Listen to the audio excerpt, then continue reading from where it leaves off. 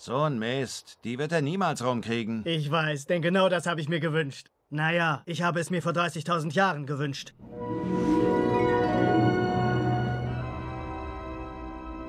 Es ist wahr, selbst bei Lichtgeschwindigkeit können bösartige Gedanken der Sterne Tausende oder sogar Millionen Jahre brauchen, um die Erde zu erreichen. Hamburger.